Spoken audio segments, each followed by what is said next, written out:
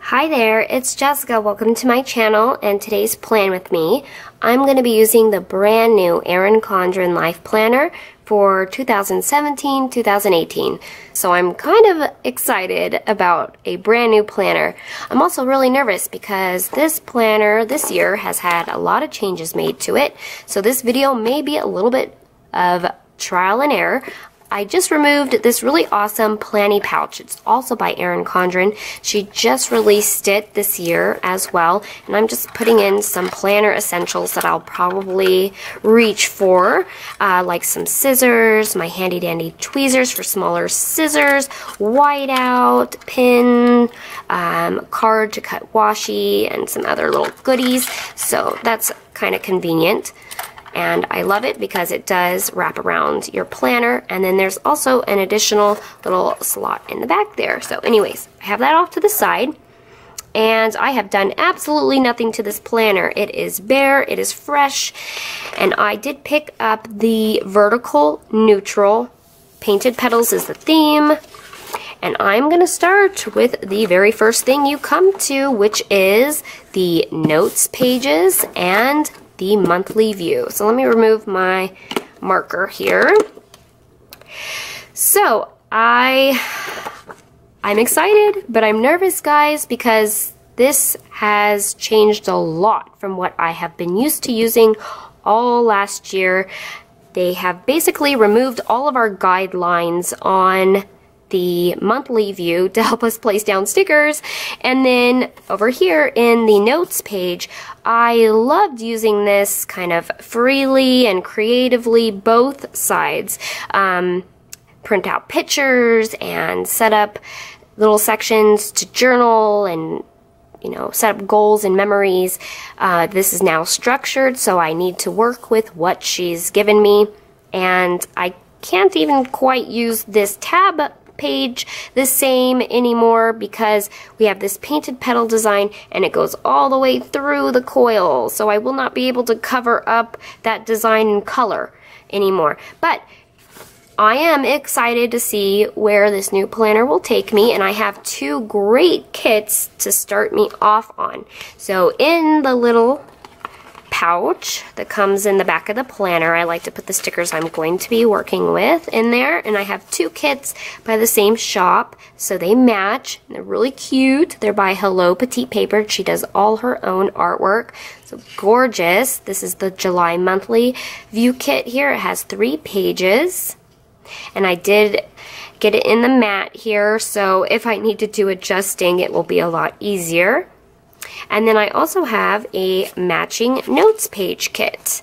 So that came with a little deco sheet and two sheets here to kind of set that up. So that's what I'm going to do today. I also brought out this little sticker sheet for the monthly view, which is where I'm going to start first because I think I'm going to be focusing on how to place down these stickers and I will reference my traveler's notebook in pocket size, which is my everyday carry. It goes in my handbag. I use Annie Plan printables and jot down kind of just the important things, and I think that's probably all I'm going to put down. So to fill up some space, if this isn't taking me too long, I'll put some fun, wacky holidays down because they're really cute and I always enjoy looking at them. Thanks to Andrea from Scribble Prints Co. She put out a mock plan with me for the monthly view, I don't know, about a month ago.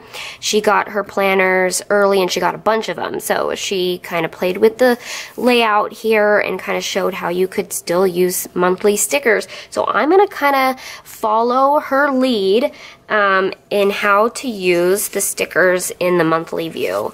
So what I'm going to do is I'm going to start with these bars that will cover up the days that don't apply to July. And luckily, there are quite a bit, so I'll have a good guideline actually.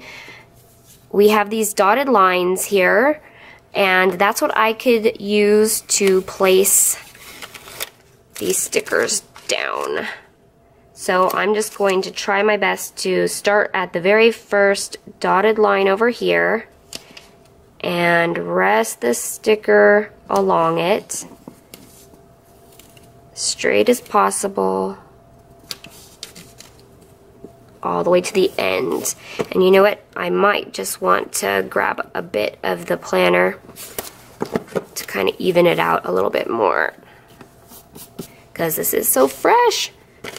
It's always so fun to start a new planner.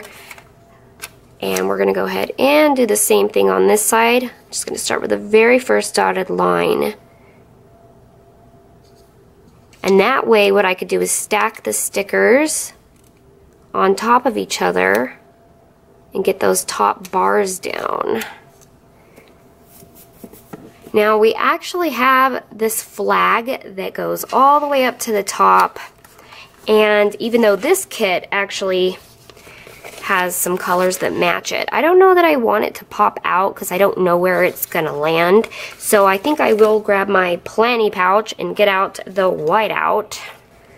Okay, and I'm just going to try to white out a little bit of this flag here at the top. Just in case so I don't have that blue poking through.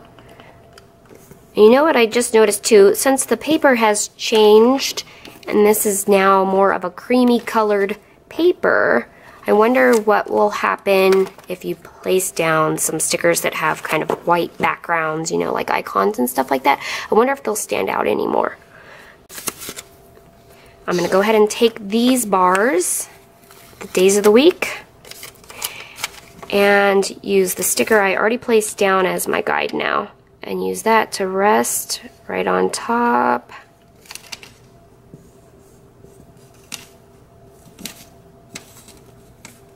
And there we go. And I'll repeat that on this side, which this is going to be a little bit more tricky because I won't have it as easy um, as I did over there. I'll have a little bit of free floating. So I'll just have to do my best. Okay. Hopefully I did alright there. So far, pretty good for a first time, you know? I am a little bit nervous about the sidebar stickers.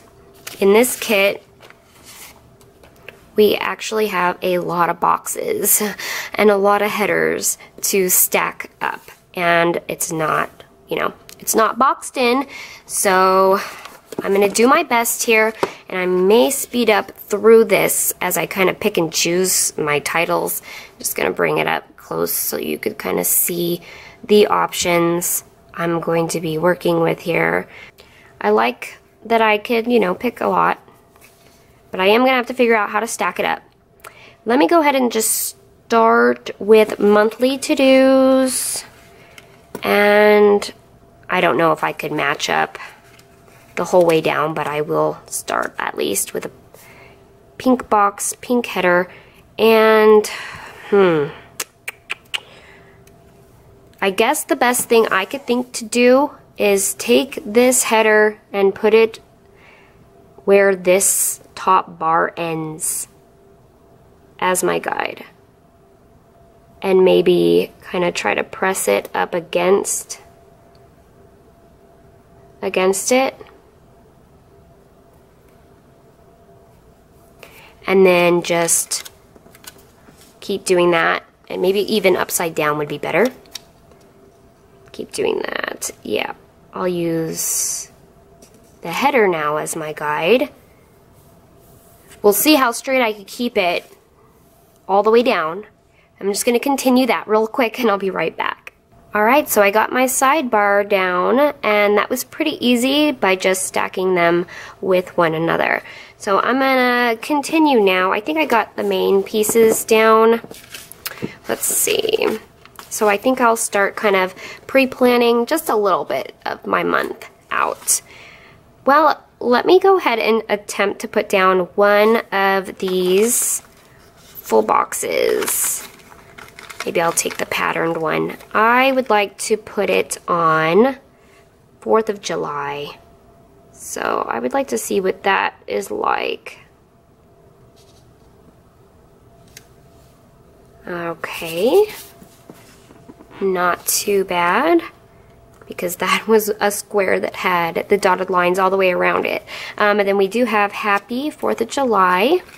And I just want to go ahead and put that in the bottom to mark that holiday here in the United States. It's one of my, uh, or it, it may be my husband's favorite holiday. I'm going to mark paydays with these really adorable pink and gold glitter flags. We get a payday on the 1st, then every other Friday. And this month, the Friday it starts will be the 14th. So then the 28th will be the other one.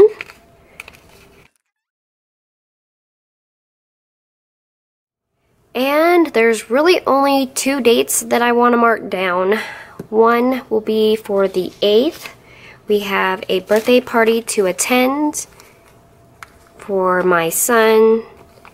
And I am like best friends with his mother. Let's use a blue because he's a boy. I think he would like the blue color. And, oh, you know what? That's interesting. The label a little bit short, so I'm going to give it a little bit of spare room and to center it. There we go. And then I saw these really cute balloons included, so why not just go ahead and use them to mark the birthday on that Saturday. And then the last thing that I'm going to do for pre-planning because I would like to move on to the notes pages. Oh, I have my wacky holidays too we'll, we'll do some of those. Um, I want to do my doctor's appointments just to go in to pick up a refill, prescription refill. So I'll take pink for me. And then we do have a circular icon of a doctor stethoscope symbol, and that is the 19th. So that'll be over here. And that's all I'm going to do for now, guys. Just paydays and my one appointment, birthday party, and I think I will fill the rest in on my own. I just really wanted to see how it was to place down um, stickers in this new layout, but uh, yeah, it was not so bad. It was a little scary, but it's really pretty, and uh, once I think you get the hang of it, I think what would be really hard is if there were no days here, you know, because look how much guide I actually got. I got this whole area to use to place my top bars on. I was thinking to myself, if all else fails, you know what I'm going to do? I'm just going to take some cute washi and stick it down. Cut like a cute little flag and place some washi down and that's to be it. Um, because I was really nervous, but I like the way that it turned out, so it's really cute. Let me place a few wacky holidays down by uh, Once More with Love. I think I'm just going to pick a few random favorites, but they're all kind of fun though, so that's really hard. I don't know. We have on the 2nd UFO Day. Why not? I'll put that one down on the 2nd.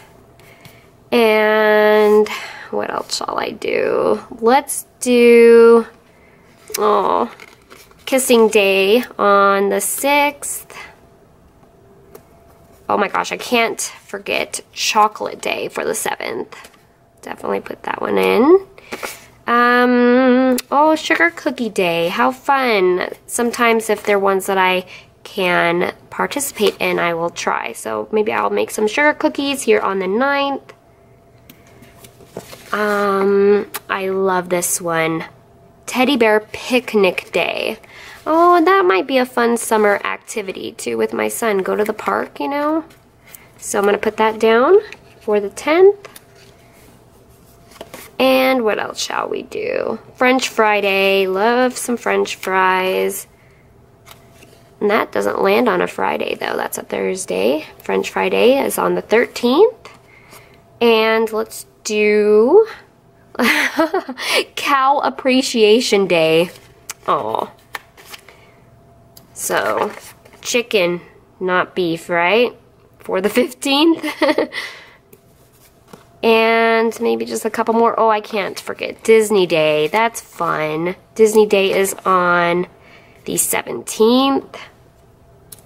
Or Disneyland Day. Oh, if only. I bet you it's going to be packed there. I wonder if they do anything special. Um, I want to do Stick Your Tongue Out Day.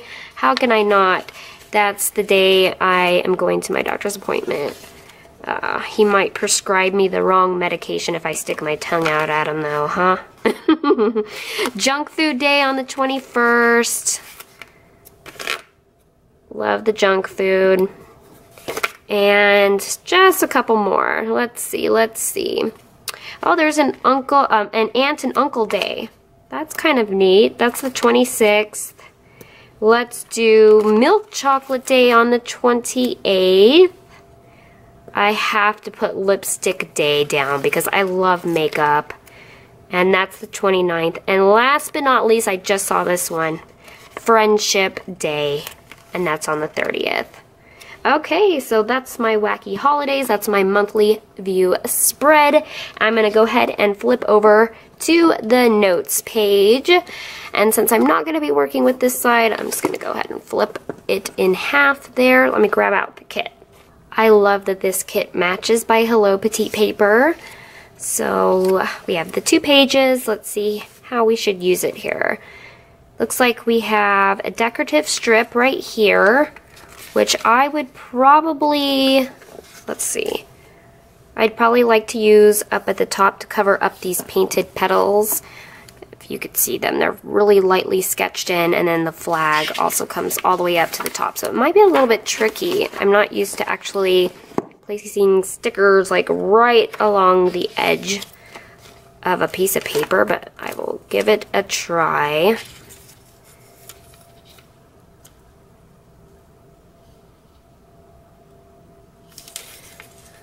Let's see here. If I could get this down straight.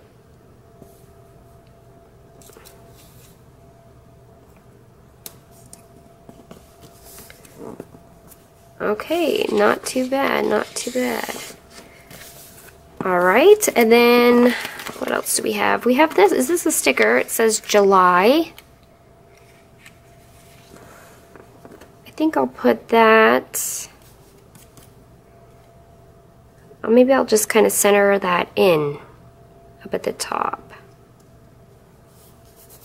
That's cute. Alright, so then the circles, I think I'm just going to really honestly just follow the way she has it laid out. That's really easy, and they're so pretty. Now, I am honestly, if you watch any of my Plan With Me's, you know I'm not good with circles. I actually use tweezers every time I have a circular icon. Um, I don't know why. Maybe these ones are bigger, I'll do a little better. This one here says goals. I just want to make sure that I, you know, get this down properly. Cover it up and get it straight. We have a favorites, focus, and grateful.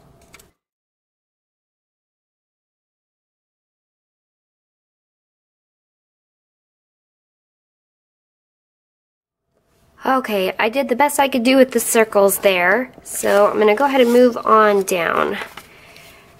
Okay. I think I'm going to go ahead and... We have these really cool strips that remind me of kind of like bullet journaling in a way or a really long habit tracker. Yeah, it's like a, a whole monthly tracker. That's cool.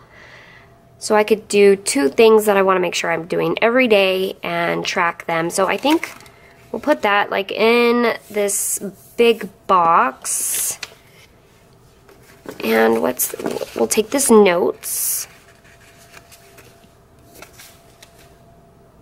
And those two bars. And I'll just stack them on top of each other just as it's shown. I'm going to put this in the corner little notes, and then stack these up.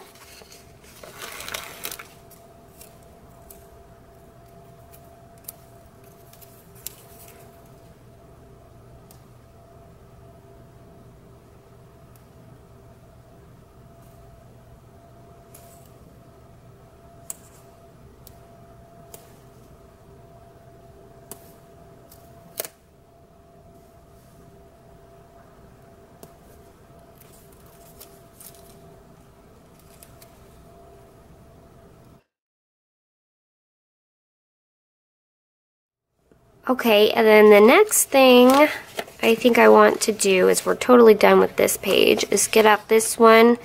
And I guess you could choose all these headers to set up these two columns. And then you have these little dots you could place down as the bullet points. And I'm sure you could even use more than one if you want to, so I might pick here. Let's see. Let's see, let's see. I'm going to get the tweezers to help me place down the dots. I think I'll match them too. I would like to use... Let's see, I actually really like the one that says, I'm so grateful as well as the one right below it, monthly favorites. That was actually one that I always enjoyed doing, was writing down like if I had a favorite show on TV that month or a favorite product I was using. Also wish list. Um, and I think I'll do memories as well. Yeah, I like that. So I'm going to do those four. And let's see, this will obviously hopefully just cover right over the header shown. So I guess I'm taking the four at the bottom. And I'm to try my best to space them out evenly and then I'll go ahead and give them the little bullet points per line.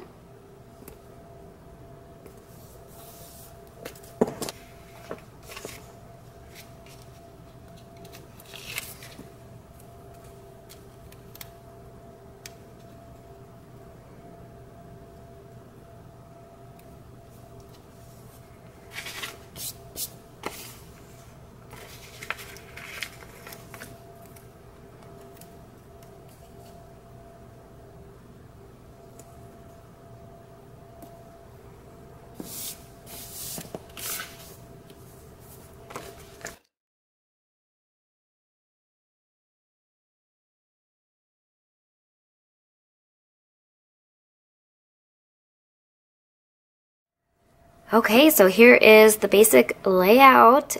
And last but not least, we have this little cute deco, which I will go ahead and take a couple pieces from.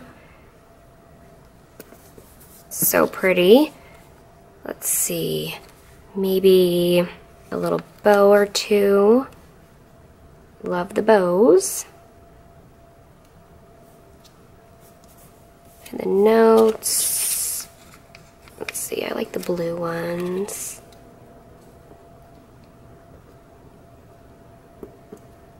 Right there.